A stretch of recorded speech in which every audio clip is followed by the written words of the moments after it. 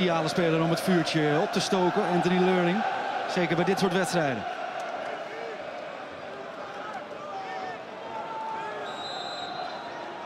Sterk bij dit soort standaard situaties. Nak. En daar was Goudelje al bijna. Hij gaat er alsnog in. En dan is eh, uh, Luiks te maken. De andere centrale verdediger. En zo staat Nak met 1-0 voor.